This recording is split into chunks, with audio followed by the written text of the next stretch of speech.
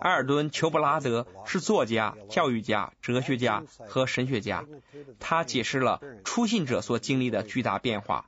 人获得的新性情是有局限性的，仍然会失误，而且确实会如此。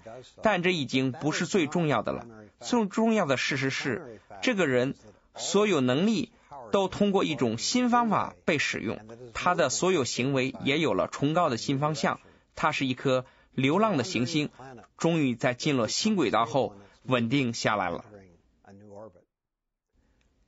现在我认识到，在我向上帝降服的那一刻，发生在我身上的就是如此。我曾经是一颗流浪的行星，但慈爱父神的慷慨、耐心、怜悯使我的生命稳定下来。我被带入，或者说被迎入新的轨道，成为神家中的一员。